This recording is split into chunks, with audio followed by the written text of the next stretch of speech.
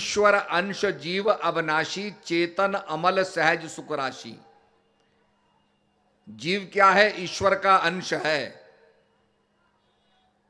आपने देखा होगा, बच्चा कोई खो जाए यहाँ तो यहाँ स्टेज पर लोग अनाउंसमेंट करते हैं कि भाई बच्चा खो गया है, रो रहा है। वो बच्चा अगर खो गया है तो रोना शुरू कर देगा। क्योंकि माँ जो उसकी जननी है, जो उसकी अंशी है, उससे उसका अंश, उसका पुत्र, उसका लड़की, उसका बच्चा जुदा हो गया। ऐसे ही हम अपने अंशी से जुदा हो जाते हैं तो संसार के अंदर हम भी दुख का अनुभव करते हैं। और जब प्राप्त करते हैं अपने अंशी का सानिध्य प्राप्त करते हैं तो हमें आनंद का अनुभव प्राप्त होता है। इसीलिए आपने देखा यहाँ कितना बड़ा मेला लगा है। गाँव से बहुत से किसान भी आएँगे, अपने बच्चों को भी लाएँगे। अब बच्चे ने बाप की उंगली पकड़ी हुई है, उंगली पकड़ी हुई है। और अगर उंगली पकड़ी हुई है और वो देख रहा है मेले को, मेला बड़ा उसको अच्छा लग रहा है, मेला देख रहा है, मेले का आनंद ले रहा है, पर वो सुरक्षित अनुभव करता है क्योंकि उसने बाप की उंगली पकड़ी हुई है। एंकर्ड है। जैसे समुद्र में तूफ़ान आ जाते हैं तो नौका क्या करती है? अपना एंकर जो उसका एंकर होता है, उसको डाल देती है। और वो कील जाकर के समुद्र में धंस जाता है। धंस जाता है तो नौका कहीं जा नहीं पाती, अटक जाती है। ठीक इसी प्रकार से संतों ने कहा कि भाई आप मेला देख रहे हैं, आपका हाथ पकड़ा हुआ, आप सुरक्षित हैं। और बच्चे का अगर हाथ छूट जाए और उस मेले में वो खो जाए, तब उसको आनंद नहीं आएगा। तब वो कहेगा, मेरे पिताजी कहाँ हैं? मेरे पिताजी कहाँ है? मेरी माँ कहाँ है? रोने लग जाएगा। तब यही मेला उसको खाने दौड़ेगा। उसको आनंद नहीं आएगा, वो तो भटक गया, खो गया। ऐसे ही हम परमपिता परमात्मा को अगर जान लेंगे, कल एक व्यक्ति सत्संग सुना रहा था छत्तीसगढ़िया भाषा में तो उसने कहा, हम बचपन से आरती करते आए हैं कि जो ध्यावे फल पावे, आरती करते रहे, उसमें आप ये नहीं कहते, जो गावे सो पावे। कि गालो और पालो, नहीं। वहाँ हम गाते हैं, आरती करते हैं कि जो ध्यावे सो पावे। जो ध्यावे फल पावे, जो ध्यान करता है, उसे फल मिलता है। और ध्यान किसका करना है, ये बात सत्संग में बताई जाती है। किस चीज़ का ध्यान करना है? संत कहते हैं, एक लक्ष्य होता है। उस लक्ष्य में अपना मन लगाओ। जैसे आपने देखा होगा, पांडव लोग द्रोणाचार्य से बाण विद्या सीखते थे। पर द्रोणाचार्य का ज़्यादा वात्सल्य, ज़्यादा प्रेम अर्जुन से था। क्योंकि अर्जुन बड़ा कॉम्पिटेंट था, बड़ा योग्य था। जो गुरु कहते थे, उनकी बात में विश्वास करता था। तो कौरवों के अंदर बड़ी ईर्षा होती थी कि द्रोणाचार्य जी ज़्यादा महत्व अर्जुन को देते हैं। खैर, अब ये दिखाने के लिए तो द्रोणाचार्य जी ने दिखाने के लिए सबको खड़ा कर दिया और कहा, देखो भाई, ये पेड़ है, इस पेड़ के ऊपर चिड़िया बैठी है चिड़िया की दाहिनी आँख है, उस पर निशाना लगाओ। सबने बाण लिए, निशाना लगाया। अब कौरवों से पूछा, क्या देख रहे हो? तो कौरव कहते हैं, जी, हम आसमान को देख रहे हैं, धरती को देख रहे हैं, चिड़िया भी देख रहे हैं, पेड़ भी देख रहे हैं। उसके बाद पांडवों से पूछा, क्या देख रहे हो? उन्होंने कहा, जी, आसमान दिखाई दे रहा है, पेड़ दिखाई दे रहा है, पेड़ के पीछे आसमान भी दिखाई दे रहा है, धरती भी दिखाई दे रही है, आप भी दिखाई दे रहे हैं। अर्जुन से पूछा, तुम क्या देख रहे हो? उसने कहा, गुरुजी, मुझे तो केवल आँख दिखाई दे रही है। बोला, बेटा, मैं दिखाई दे रहा हूँ। बोला, नहीं जी। पेड़ दिखाई दे रहा है कि नहीं जी? चिड़िया दिखाई दे रही है कि नहीं, गुरुजी? तुम चिड़िया की आँख देख रहे हो? कहा, हाँ जी, आँख देख रहा हूँ मैं। तब गुरुजी ने तीर छोड़ने को कहा तो चिड़िया की आँख में जाके तीर लगा।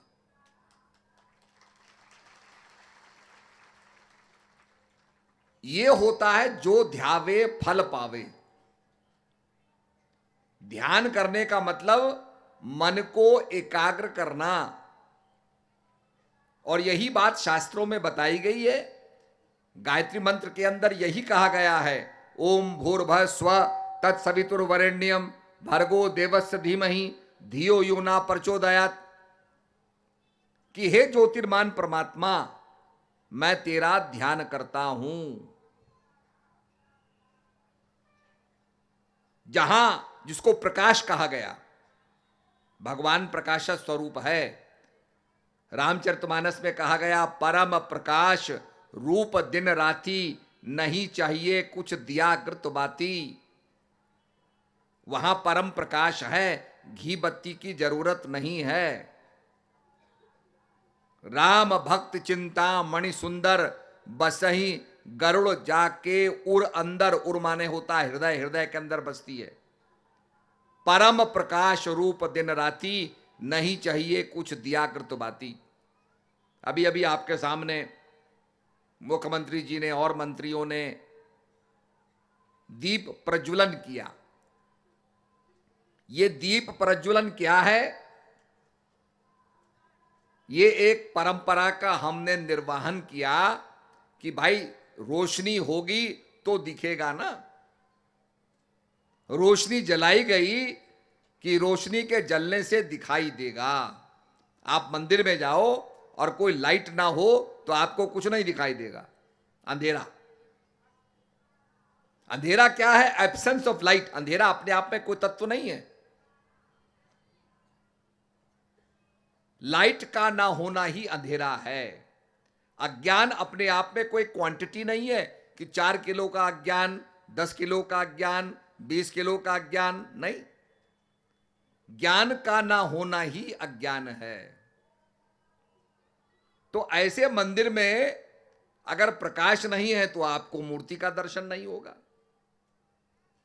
ऐसे ही अगर साधना के अंदर प्रकाश नहीं है तो आपको दर्शन नहीं होगा। तो गायत्री मंत्र के अंदर मंत्र दृष्टा क्या कहते हैं? भर्गो देवस धीमही।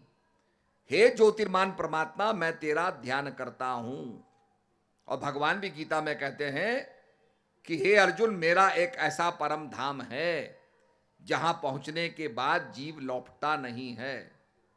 न तत्भाषते न सूर्यो न शशांको, न पावका, यद गत्वा न निवर्तनते तद्धामम परमम। हे अर्जुन, जहाँ पहुँचने के बाद लौटता नहीं है। लौटना, आना और जाना ये क्या है? एक्शन एंड रिएक्शन साइंस कहती है, हर क्रिया की प्रतिक्रिया होती है। आप यहाँ आए, उसकी प्रतिक्रिया क्या होगी? आप कार्यक्रम के बाद जाएँगे। साइंस कहती है every action action has equal and opposite reaction आप गेंद को मारते हैं जितनी ज़ोर से मारेंगे, उतनी ज़ोर से रिबाउंड होकर के वो आएगी। हर क्रिया की प्रतिक्रिया होती है। हम संसार में आए हैं तो संसार से जाएँगे भी। ये एक्शन और रिएक्शन क्रिया और प्रतिक्रिया से अलग होने के लिए हमें एक्शन रिएक्शन से अलग होना पड़ेगा। और वो एक्शन रिएक्शन से अलग होने के लिए हमें इनर्ट होना पड़ेगा। हम उस अमृत तत्व को जान ले जो कभी बदलता नहीं है। इसीलिए साइंस कहती है energy can neither be created nor it can be destroyed शक्ति का जन्म नहीं होता, शक्ति का नाश नहीं होता। मैं एक छोटा सा उदाहरण आपको दूँगा। जब बिजली कड़कती थी तो वैज्ञानिकों ने कहा, बिजली कड़क रही है आसमान में बड़ी रोशनी हो रही है। अगर बिजली को हम घर के अंदर ले आएँगे तो हमारे घर में भी रोशनी हो जाएगी। पर आसमान में कड़कने वाली बिजली घर में कैसे आए? आसमान में कड़कने वाली बिजली तो कई थाउज़ेंड वोल्ट्स होते हैं। अगर वो घर में आएगी तो वज्रपात हो जाएगा, घर टूट जाएगा, घर जल जाएगा। तो लोगों ने कहा, हम बल्ब बनाते हैं। बिजली का एक तार लिया, तार में करंट डाला, बिजली का तार गर्म हो गया, गर्म होकर के जल गया। उन्हें कहा, क्यों जला? जब खोज की तो पता लगा हवा में ऑक्सीजन है, हवा में जलाने की चीज़ है। आपने देखा होगा जब आग लग जाती है, किसी को करंट लग जाता है किसी को तो कंबल डालते हैं उसके ऊपर। ताकि ऑक्सीजन कट जाए और आग बुझ जाए। आपने देखा होगा जहाँ आग लग जाती है, कार्बन डाइऑक्साइड लेकर के जाते हैं, फोम लेकर के जाते हैं, और वहाँ पर फोम छिड़क देते हैं, कार्बन डाइऑक्साइड छिड़क देते हैं जिससे ऑक्सीजन कट जाती है और आग बुझ जाती है। बड़े बड़े जहाँ पेट्रोल के टैंक होते हैं, पेट्रोल स्टेशन होते हैं, उसके बगल में कार्बन डाइऑक्साइड के सिलेंडर भी होते हैं। कुछ लोग रेता रखते हैं, रेते से जो है ऑक्सीजन को काट देंगे, आग बुझ जाएगी। तो वैज्ञानिकों ने यह पता लगाया कि तार के चारों तरफ़ हवा है, जिसमें ऑक्सीजन है जिसके कारण यह तार जल रहा है। तो उन्होंने एक ट्यूब बनाई, बल्ब बनाया। सबसे पहला बल्ब क्या बना कि उसमें से हवा निकाल दी। जब हवा निकल गई, करंट डाला तो तार जलने लगा, रोशनी निकलने लगी, पर वो जला नहीं। क्योंकि जलाने की चीज़ तो थी नहीं। ऑक्सीजन तो थी नहीं, हवा तो थी नहीं। पर ऐसा बल्ब जिसके अंदर हवा न हो वैक्यूम हो, उसको संभालना बड़ा मुश्किल हो जाता था, क्योंकि जैसे ही वो हिलता था, वो फट जाता था। उसके ऊपर दबाव पड़ता था भार का। अंदर तो खाली है। पर वैज्ञानिकों को समझ में आ गया कि हम ऐसा बना सकते हैं, उसमें से रोशनी निकलेगी। तो उन्होंने कहा, भाई, ऐसी गैसें ढूंढो जिसके अंदर ऑक्सीजन ना हो। तो इनर्ट गैस किप्टॉन नियॉन ये गैसें इनर्ट गैसेस होती हैं जो जलती नहीं है। उनको बल्ब के अंदर डाल दिया गया ताकि बल्ब पर दबाव ना पड़े, अंदर किप्टॉन नियॉन गैस डाल दी और उसके बाद जब करंट डाला तो बल्ब जलने लगा। पर वो जल इसलिए रहा है कि उसके अंदर क्रिया प्रतिक्रिया नहीं हो रही है। अगर उसके अंदर एक्शन रिएक्शन हो जाए तो वो भी जल जाएगा। तो हम जब क्रिया प्रतिक्रिया से ऊपर उठ जाते हैं तो वहाँ कहा, भरगो देवस्य धीमही, न तत्व भाषते न सूर्यो, न शशांको, न पावका। हे अर्जुन, मेरा एक ऐसा परम धाम है, जहाँ जीव पहुँचने के बाद लौटता नहीं है, और जहाँ पर स्वमेव प्रकाश है, वहाँ अग्नि का, चाँद का, सूरज और तारागण का समुद्र प्रकाश की आवश्यकता नहीं पड़ती। तो क्रिया प्रतिक्रिया। इसीलिए कहा, मैं बता रहा था कल कि भाई, हम झलूस में गए, कल शोभा यात्रा निकली, अच्छे अच्छे कपड़े पहने, कपड़े मैले हो गए, हमने हटा दिए। ये क्रिया प्रतिक्रिया है, ये शरीर के साथ होती रहेगी, संसार की सारी चीज़ों के साथ होती रहेगी, पर जो क्रिया प्रतिक्रिया से हट करके है, जो अजन्मा है, जिसका जन्म नहीं होता जिसके लिए कहा भगवान कहते हैं नैनम चिंतन शास्त्राणी नैनम दहति पावका, न चैनम क्लदंत तापो, न शोषति मारुत। हे अर्जुन, वो आत्मा अजर, अमर और अविनाशी है, उसका नाश नहीं होता है। शरीर का नाश होता है, आत्मा का नाश नहीं होता है। शरीर अग्नि से जल जाता है, आत्मा नहीं जलती है। शरीर अस्त्र शस्त्र से कट जाता है, आत्मा नहीं कटती है। और जितने भी परिवर्तन हो रहे हैं सज्जनों, वो परिवर्तन एक बिंदु के चारों तरफ़ होते हैं। आपने देखा होगा मंदिर में हम परिक्रमा करते हैं, हम तो चल रहे हैं, पर जो बीच में जो भगवान की प्रतिमा है, वो नहीं चलती। ये सारे ग्रह परिक्रमा कर रहे हैं, पर जिस सूर्य के चारों तरफ़ परिक्रमा करते हैं, वो सूर्य अपने आप में टिका हुआ है, वो नहीं चलता, वो स्टेशनरी है। आपने देखा होगा, ये लाइटें लगी हैं, बल्ब लगे हैं। इनकी दिशा स्टेज के ऊपर है। और इनकी दिशा स्टेज के ऊपर होने से इनकी लाइट स्टेज पर पड़ती है।